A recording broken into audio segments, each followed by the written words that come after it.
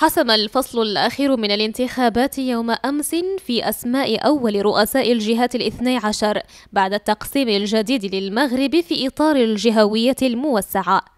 سجال وصراع وتضارب لمصالح هذا الحزب وذاك. كلها مفاهيم تعرف عليها الناخب المغربي خلال أيام ما بعد الرابع شتنبر.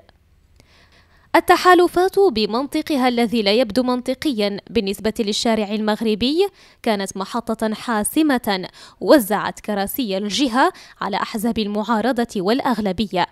حظيت هذه الأخيرة الممثلة بكل من حزب العدالة والتنمية الذي يقود التحالف الحكومي والتجمع الوطني للأحرار والحركة الشعبية بخمس جهات مقابل سبع جهات حصلت عليها المعارضة ممثلة بكل من حزب الأصالة والمعاصرة وحزب الاستقلال. حزب العدالة والتنمية في شخصي عبد الصمد السكال والحبيب الشوباني حصل على جهة الرباط سلا القنيطرة وجهة درعة فيلالت. كما حصل حزب التجمع الوطني للأحرار على رئاسة كل من جهة قلمي مودنون وجهة سوس ماسا. وقد حصل حزب الحركة الشعبية على جهة فاس مكناس. بطبيعة الحال ينتظرنا عمل كبير جدا فالقانون يتحدث عن جهوية متقدمة بمؤسسات جديدة بهيكلة جديدة باختصاصات أو أوسع.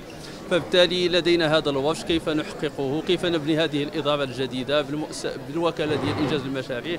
كذلك نحن في جهة ناتجة عن اندماج جهتين فهناك عمل باش هذا الاندماج يتم بسلاسة وبطريقة آه، تيسر بسرعة كبيرة جدا. أن ننطلق في العمل فست سنوات هي مدة ضيقة.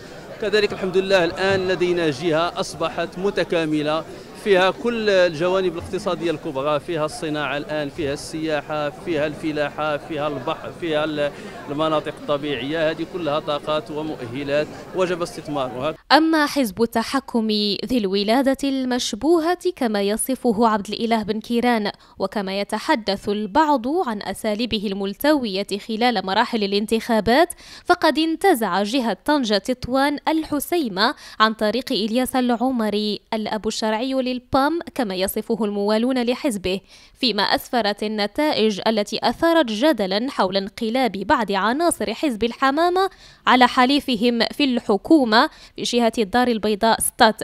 أسفرت على فوز مصطفى بكوري الأمين العام لحزب الأصالة والمعاصرة. لا ماشي سهلة. أيه؟ ماشي يكون راجل.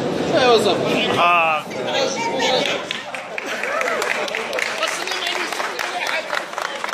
الشعب المغربي إذن قال كلمته الأولى عبر صناديق الاقتراع وترك باقي السطور والعبارات لمن أوصلهم لكرسي المسؤولية ومنحهم ست سنوات قادمة ليعود إليهم بكلمته الأخيرة. ويبقى السؤال المطروح هل رسم الاقتراع المحلي والجهوي الأخير معالم خريطة الانتخابات التشريعية التي سيكون المغاربة على موعد معها خلال السنة المقبلة أم أن هذه الأخيرة ستحمل لمغرب الاستثناء خريطة من نوع آخر؟